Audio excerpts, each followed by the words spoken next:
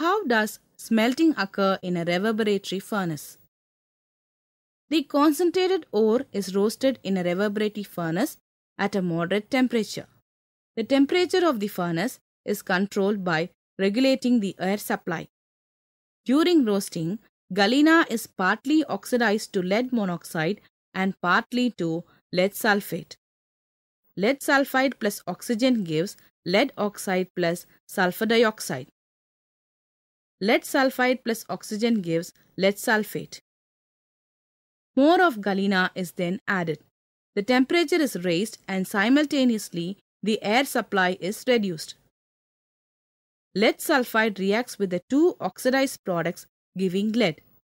Lead sulfide plus lead oxide gives lead plus sulfur dioxide. Lead sulfide plus lead sulfate gives lead plus sulfur dioxide.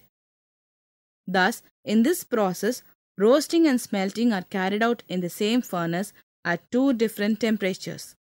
What is the outcome of the process? About 90% of lead is obtained as metal. The rest passes into slag.